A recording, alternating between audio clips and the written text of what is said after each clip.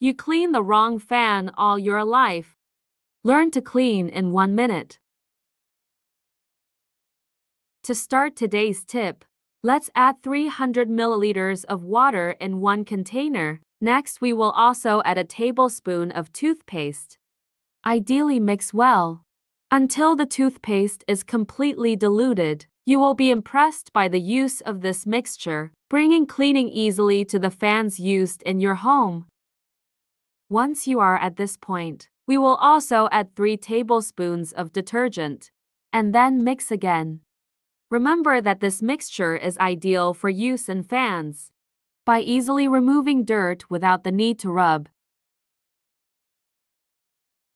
To finish, we will also add 3 tablespoons of vinegar, and then mix one last time. I am sure you will thank me for using this mixture, making it too easy to clean the fans, by avoiding the need to disassemble and wash thoroughly. To facilitate the application, you should only place the mixture fully in a spray bottle, being more practical. To spread the mixture between the spaces of the fan, to avoid waste, of the mixture will only need the use of a funnel.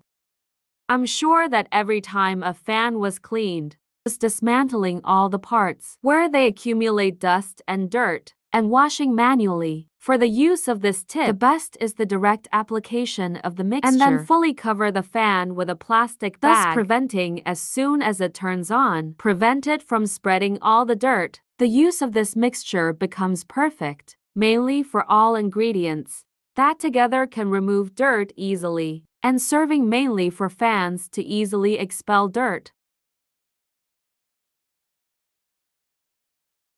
And before I forget, tell me which city you watch, so I can send you a big hug.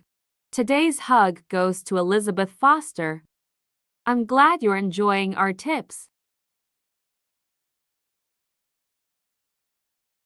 The use of the plastic bag is essential to prevent dirt from spreading through the environment. Once you use this tip, if you even prefer to disassemble your fan for cleaning, the mixture we have prepared is also perfect for cleaning in the traditional way. Tell me what you think of this tip, and if you got the desired result. Thank you for watching this video so far. See you in the next video. Bye.